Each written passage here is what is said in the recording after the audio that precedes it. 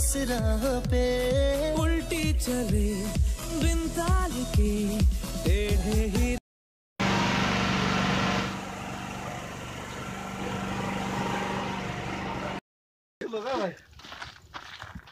नाजरीन आज हम जियारत में हैं।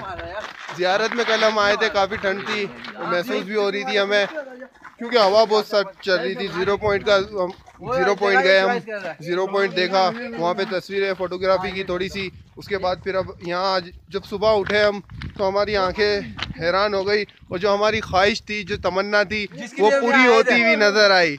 तो फिर हम जिसके लिए आए थे। जिसके लिए हम यहाँ आए थे अयूब भाई का कहना है ऐसा। खैर कहना तो सबका यही है क्योंकि सब इसीलिए आए थे।